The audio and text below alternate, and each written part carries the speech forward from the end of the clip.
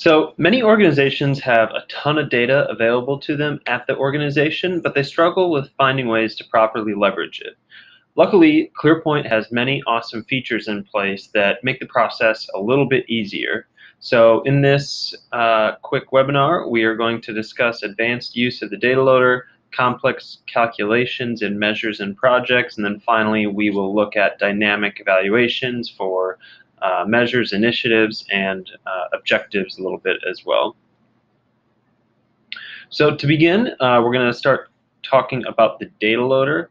Um, I'm going to keep this brief so we can move on to some of the other things, but basically the data loader is something that you can install on your computer, uh, much like you can something else.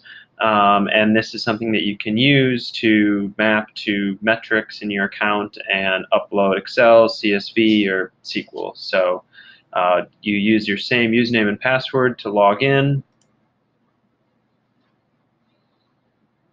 And here's where you will see a list of all of the packages that you own. The two common use cases that we typically hear about is someone has a lot of historical data that they want to upload to ClearPoint when they first start using ClearPoint, when they're getting set up. Um, and this just helps with that transition from your previous reporting system. Uh, and then the other use case is when someone just gets into that regular reporting cadence and they're getting really efficient and finding different ways to save a lot of time. Data Loader is one of those things where it can save you a ton of time so you can focus your attention on other things. For example, if, if you save yourself three hours of data entry a month, that's almost a week back of your time every year. So definitely a tool to consider if you are heavy into metrics in ClearPoint. So to begin, I'm just going to take a look at one example package here uh, to show everyone how this is set up. Um, so uh, to create a package, you just give it a name and you pick a file to use. Uh, and then you can go ahead and click Next. From here, you can select which, which scorecards you want to use. And then you get to the mapping definition screen. And this is where the most amount of work is going to go in. Um, I'll go ahead and pull up the file that we use so you can see how it's structured. In every file that you're going to upload using the data loader, you should have the periods listed in column A, followed by each series that you want to map to in the subsequent columns. And you can have as many columns going across here as you want. You can have as many sheets as you want. It's totally up to you. Uh, just for this example, I'm doing an actual and a target for one measure. So when we see it here on the mapping definition screen from sheet one, actual, column name actual, I'm mapping it to the scorecard and then the measure followed by the series. We've done the same thing in target, scorecard, measure, series. And um, you'll just repeat this for every series that you want to map using the data loader. So if I click next, now that I have it all mapped, this will take me to the preview data screen. And on the preview data screen, it'll show us what would happen if we were to upload. So it's a good place to review before you actually run the package.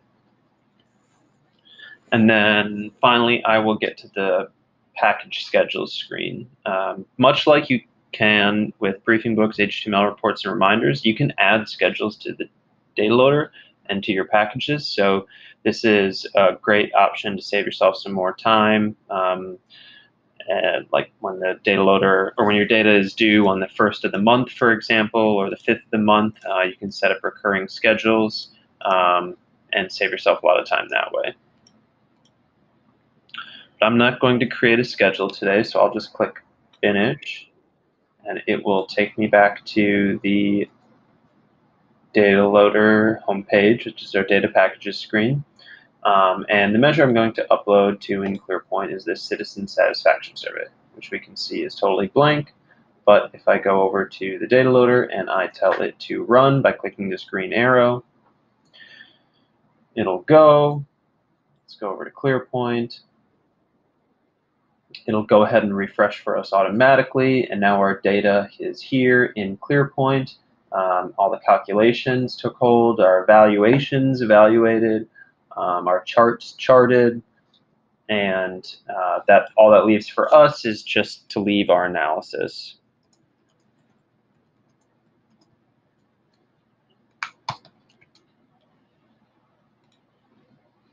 So it can really save you a ton of ton of time, um, even in simple monthly data entry if you imagine doing it to several measures every time. So as an admin, uh, there's a very important screen for you in system settings admin options, and that is the data loader tile. So inside of here, an admin can see all of the packages that exist at in their account. So it, will be your packages as well as other users, and you can see who owns them, what PC they're on, etc. Um, if I wanted to edit a package, I can just click this pencil icon. I can change the name of it, where it lives, um, the machine ID, the package owner, etc etc. So, for example, if someone leaves your organization, like let's say Jenna was leaving ClearPoint, I could move this to Rachel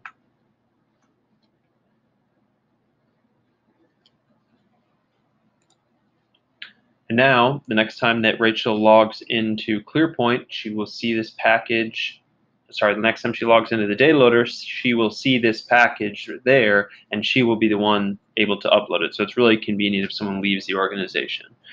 Um, question we often get is, can there be multiple people who own the same package?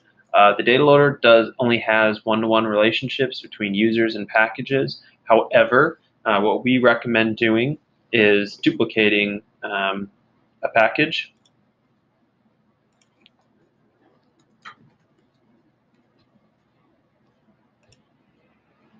And now, if I edit that duplicate,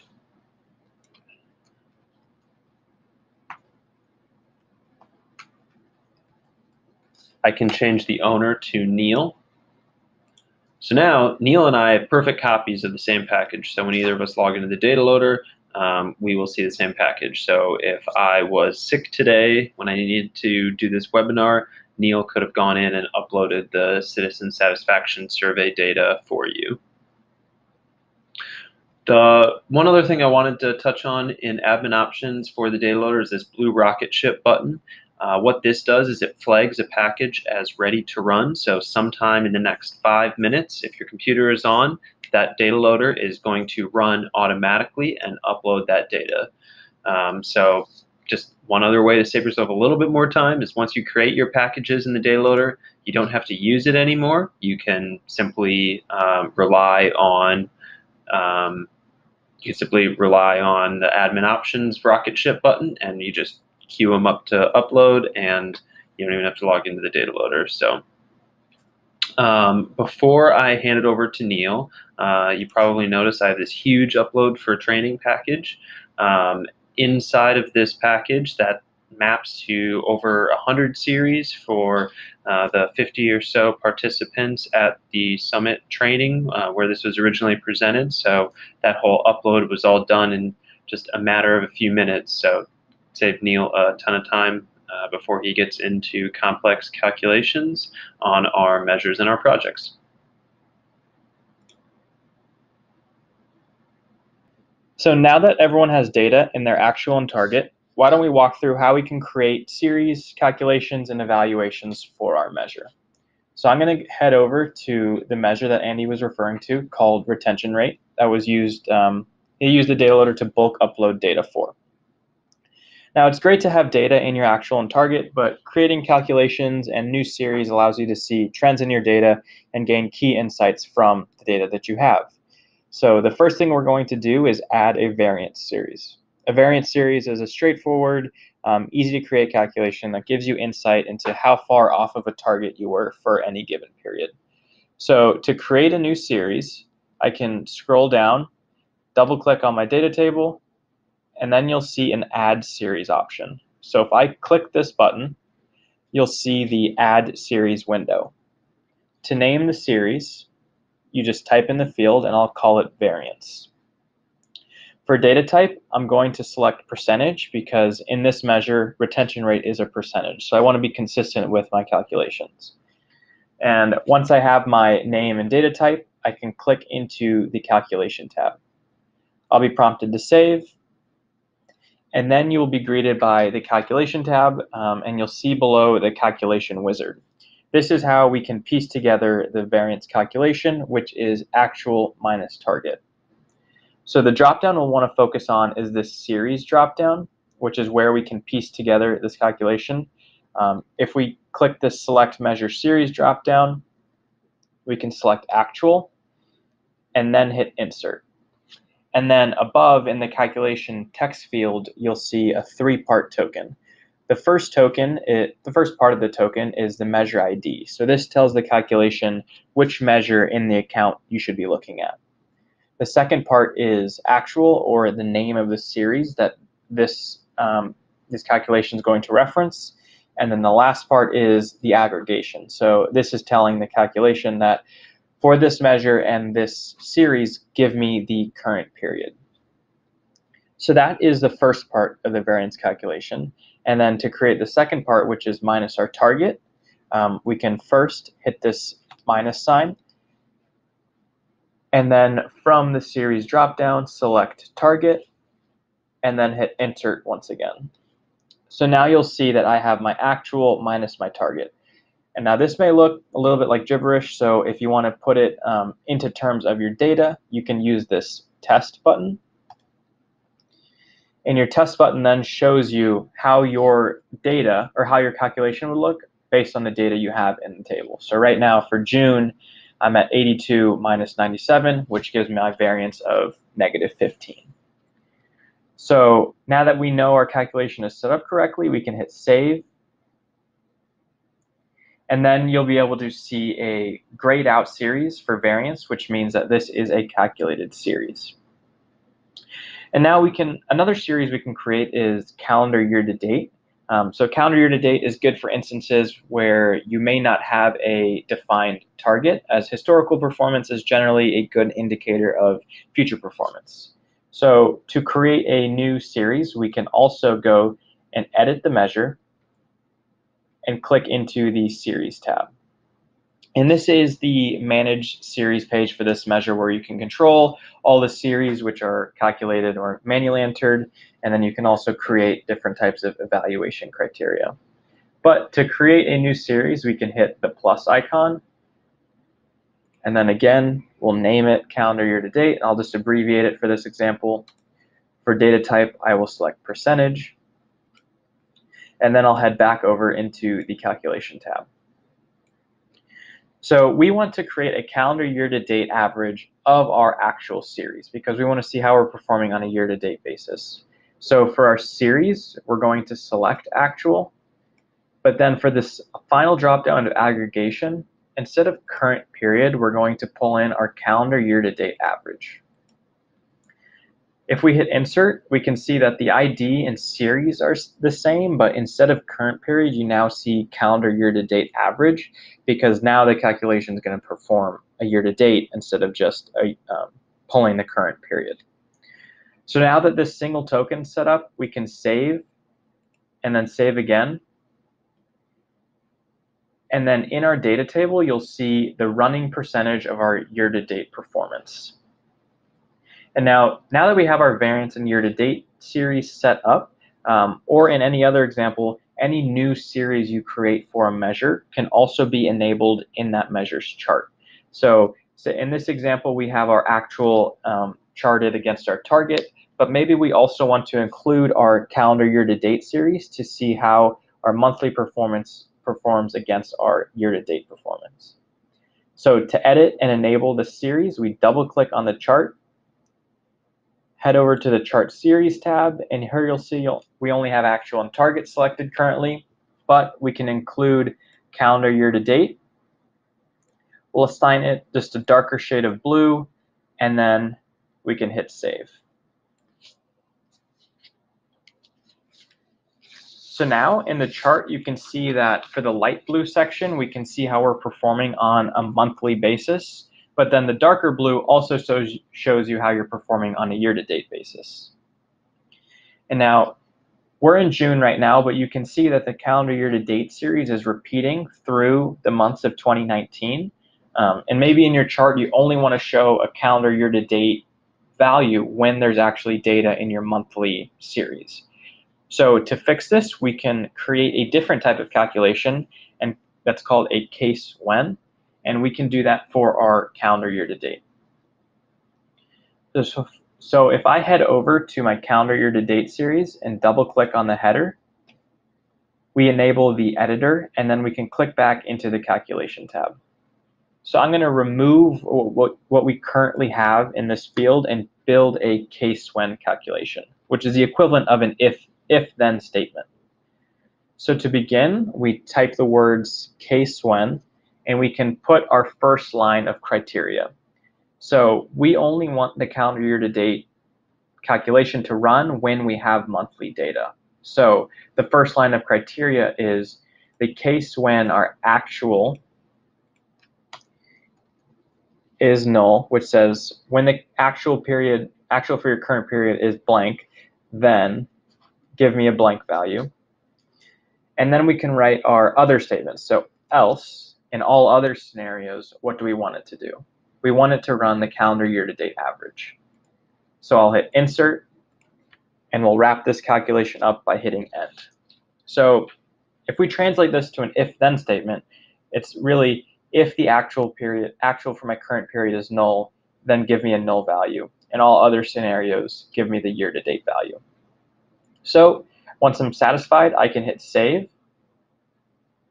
And now in the chart, you can see that the year to date isn't running for periods where there's no monthly value. And then your data table is also going to show as blank for periods where there's no actual value.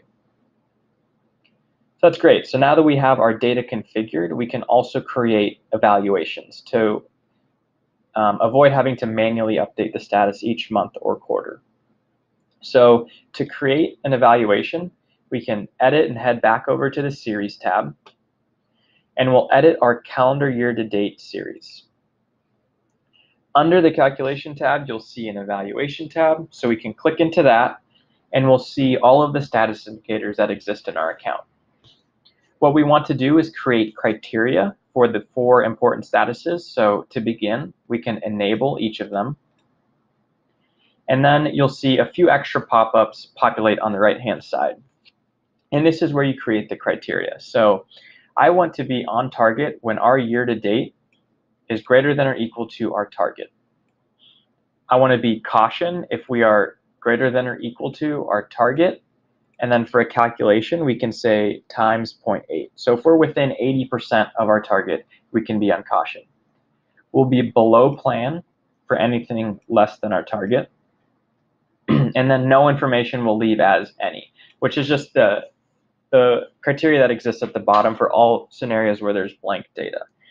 So the way the evaluation criteria works is it'll read from top to bottom. So if the first line of criteria is not met, then it'll look at the next line, it'll work its way down the list. So now that I have my criteria set, I can hit save. And then the last step is from the top evaluation option. Instead of manually evaluate, we'll want to choose the new year-to-date evaluation that we created. So once we hit save, you'll see that our measure is now evaluating based on the criteria that we set, um, and our chart is now populating. So this measure is ultimately configured with new series, a modified chart, and automatic evaluations. Now we can look at how we can turn an ordinary project into quantifiable support of our overall objectives. Project evaluations can be used to track and evaluate quantitative data that deals with project management for elements like initiatives, milestones, action items, or risks by leveraging master measures. So I'm going to show you a basic example just to show you some of the simple functionality, but then Andy's going to get into a little bit more complex of an example. So if I head over to my office redesign initiative, we could see a pretty normal detail page of an initiative with percent complete, start and end date, and a Gantt chart. If we want to turn this into a automatically evaluated initiative, what we have to do is link it to a master measure template. So if I edit the initiative, click to the Edit Initiative tab, you'll see for Evaluation Master Measure, it's not currently evaluated, so we can select the basic project template. Once I do that, this initiative is successfully linked to this master measure template. However, you'll notice that right now we don't have a data table and we don't have a chart that I promised would be possible with these master measures. So what we can do is edit the layout. We can search for data to bring out the data table. And then we can also search for our project chart and bring that out. So now you'll see that our initiative has a chart and a data table. But one thing you may notice is that this chart and the chart and the data table have a lot of periods that may not really overlap with the scope of the start and end date of the project. So to fix this, we can assign an initiative a reporting frequency, like we would with a measure to get the data table showing the right periods. So from the Edit Initiative tab, I can select the quarterly project um, reporting frequency, which is one that we created for this example. And then we'll see that our data table and chart are now showing the quarters of 2018 and 2019, which align nicely with the scope of our project. So now we can work on just entering data in this project. We can imagine that this would be a percent complete. So we'll keep the scope of this data entry for a percent complete, as if that's what you are updating. So if we think about the months of the quarters of 2018 and 19, and we evenly distribute this by eight months, we can consider our percent complete um, like this.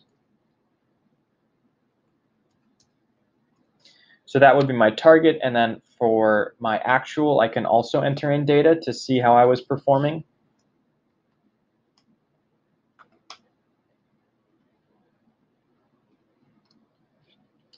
And I can also, like I said, manually evaluate and hit save.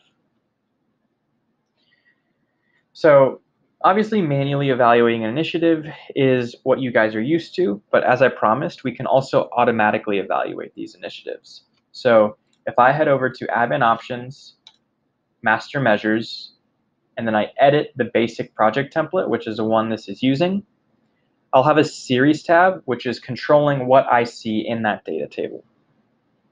To create the evaluation criteria, we do the same thing as I walked you through earlier by editing the actual and headed over, heading over to the evaluation tab.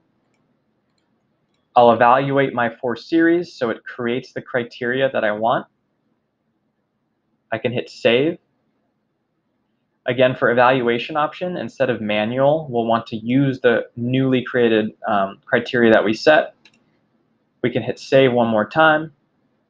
And then if I close and head back over to Office Redesign, you'll see that in my data table, I'm now have an actual that is automatically evaluated based on the percent complete and how far off of the target it is. So now that we have these series, we can create charts to visualize our project for items like this with percent complete or with variance or budget. Um, generally on top of good charts, this gives you a great additional um, visual aid that you can have to take your projects to the next level. And now I'm going to hand it over to Andy, who's going to walk you through another complex example um, of how you can use project evaluation. Thanks, Neil. Um, now, for those of you who found this feature to be totally eye-opening and has you trying to imagine all the ways that you could bring data to life in your projects, this next example is for you. So to begin, I'm just going to go to this initiative in my account called Continued Off Continued Education Program. And if I look in the data table, we can see all the different series that we have here. Neil looked at more of the evaluation stuff. I'm going to focus on doing some complex calculations and bringing this measure data, or excuse me, project data to life on your initiatives. So I'm going to go ahead and head over to admin options so I can show you how this is set up. If I go to my advanced project template, okay. we can see that I have first, this actual percent complete series, this one is raw. Um, it's like an actual that you would enter values into, followed by a planned percent complete and a percent complete variance. These three should be kind of grouped together. The planned percent complete is a special calculation type called a reference series, where you can look at the calculated field of, or a custom field that uses a number format of something like your initiative. So in this case, we're using this elapsed percent complete field, which essentially gives us uh, how much complete should you be with this project, assuming a linear completion rate. So if it's a 10-year project, after year one, I should be 10% done. Year two, 20%, etc. So that just kind of gives us an even completion planned slash target rate. For percent complete variance, this is actually a calculation that we have between our actual, which is that raw, that actual value, and our planned or target. So Neil showed a variance earlier. This is doing that, but it's looking at our actual versus our target for percent complete. The next six series are going to be grouped together as well. So if I look down at the end here first, we'll see that we have this total budget series. Um, this is also using reference series based on the custom field uh, that we have on the detail page. So I can go in, enter my project budget, and it'll pull into this data table. This is important because I'm going to use this for most of the rest of these calculations uh, in this budget family. So the first series that we have is our raw actual series dollar spend. How much have we spent on the, of our budget have we used? Up next is an actual dollar spend year to date. This is just doing a calculation of our actual spend um, series, followed by our plan spend series, which is also a calculation. But this one is based on the length of the project. This is how much we should have spent for this period, assuming again a linear rate of budget spend. This is sort of like the money equivalent to our planned percent complete. Up next, we have our spend variance. This is looking at our actual dollar spend and our planned dollar spend and telling us what the variance is. Um, and then finally, and this is probably the most important series to note here, is this percent budget variance. If I edit this series, we will see that it is going to take our dollar spend variance and divide our planned dollar spend to turn our dollar spend and now our variance into a percentage so that we can see what percent ahead or behind are we on our budget, just like we can with our percent complete. How ahead or behind are we there? So if I click cancel, I'm going to go back to that detail page so I can take a closer look with data in it. Um, here we can see that our variance is giving us the difference between these two. Our actual dollar spend is summing up in the year to date. Uh, here's our planned dollar spend, which is multiplying our million dollar budget by our planned percent complete. Uh, so it's figuring out that linear rate, followed by our dollar spend variance, which is the difference between our actual year to date and our planned spend, followed by this percent budget variance. And this is what is giving us our dollar spend in a percentage. So I'm going to go ahead and enter some data now. If I do 79% and 80,000 spend, we can see that our percent complete variance um, looks like we're ahead by 5% and then we're actually under budget by 10% as well, which is obviously awesome. So I'm going to scroll up and look at these two series, um, these two families of series separately. So on the left, we have a percent complete. Uh, we can see how far, how complete should we be and what is our actual. And then on the right, we have our budget spend. Um, what did we anticipate spending and what do we actually spend? And one thing you probably notice with these charts is it's kind of hard to appreciate the difference between your actual and your planned values.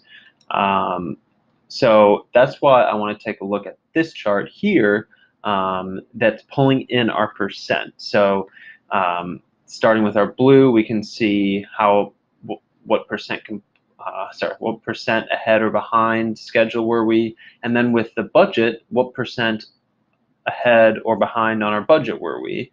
Um, are we overspending? Here we can see that we're trending in the right direction here. And so what this really allows you to do is use data to evaluate these projects. And what I've shown you in this example here is how you can take something like a dollar, like a budget spend and chart it in a way that tells a story similar to how a percent complete might. And I know this is just one way to measure a project. Um, there's lots of other things that, that you can do as well, like quality, um, did anyone get injured, uh, stakeholder satisfaction, output performance, or whatever that project is for, etc. So hopefully this kind of gets the wheels turning in your head for what could be possible uh, if I wanted to go ahead and um, build something out in my project tracking uh, that I do in ClearPoint to kind of bring it to life a little bit more. So currently this is being manually evaluated, which hopefully everyone is familiar with. But one of the cool things that you can do in evaluations, and this also applies to project evaluations, is if I have two series that are evaluated, so my percent complete variance and my percent budget variance, the ones that we saw charted together, I can choose to use something like a best series or a worst series evaluation. So it will give me whatever the worst score is between any evaluated series. So um, if we always want to look at our worst and uh, complete percent complete variance is awesome. Like we're way ahead uh, schedule and where we thought we would be, but our budget variance is horrible and it's red. This will evaluate to red because that's the worst series. So this is just one way to, if you have a lot of different ways that you try to factor in the, the score of a project or its performance, um, we have some different options in here uh, that could make that more flexible for you.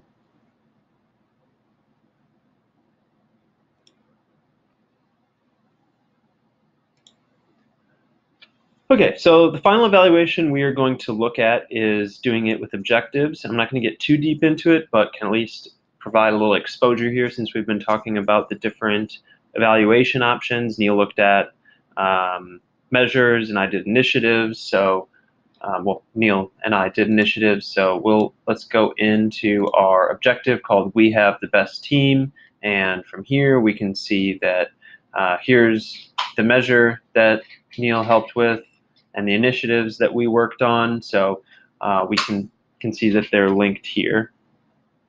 So by simply linking an element to your objective, uh, this makes it possible to evaluate that objective based on the performance of those linked elements. Uh, so if you wanted to set up an objective evaluation, all you need to do is come up and click the edit icon. And if you go to the links tab, there'll be a checkbox up here for enable automatic evaluation. If that is not checked, you simply just see your links. But if it is checked, you will see each of the uh, linked elements have a weight score that you can give it. So I could say, hey, I want these to be 50-50. And then it will multiply that weight by the status score, which in this case, yellow is 2, it'll give me 1 because it's 50, right? So 50% times 2 for yellow again is also 1. So our total score is 2. Okay, well, what does that mean? If we go to the evaluation criteria tab, this is where we can actually set our criteria for how this objective should evaluate. So you simply just check the boxes like much like you would in measures and you say, okay, it's on target when it is greater than or equal to 3, let's say. Yellow, greater than or equal to 2, etc. Um, so it's really flexible to do whatever you want.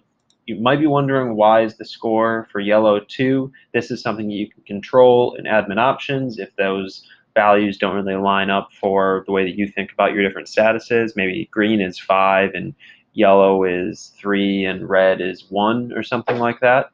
Uh, you can totally change all of that and customize it for your account if you want. But now if we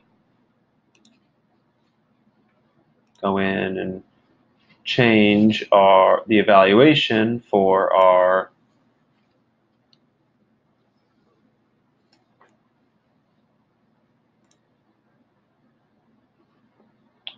initiative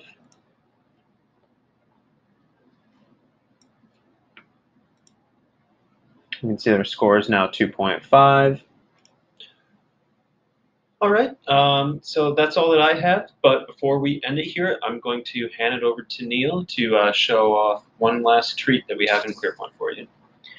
So one additional calculation that you may not have seen with our standard calculation wizard is a calculation called aggregate status. So if I head over to a measure that we have called project counter, you can kind of see some of its capabilities. What it is doing is counting all of the statuses of the different projects that exist in our account. So with all of the attendees for training, you can see that we have a total of 94 projects or different initiatives in this account with the different statuses and how they are broken down.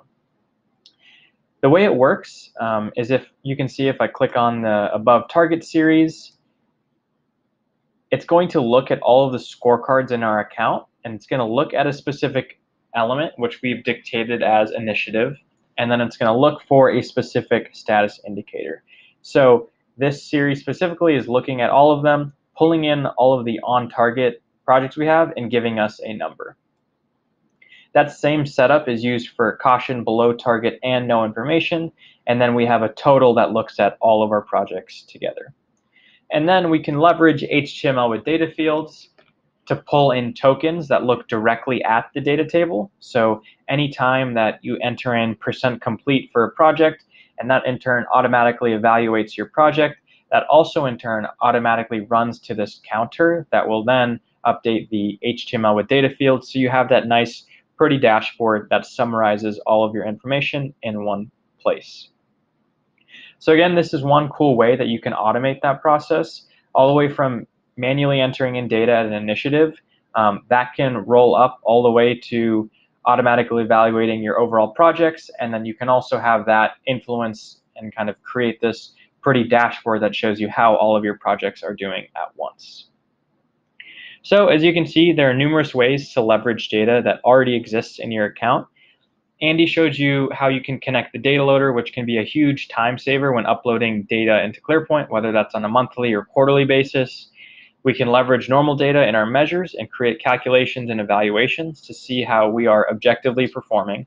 And then we can even use projects to track quantitative data and have that tie into our overall evaluation of our objectives.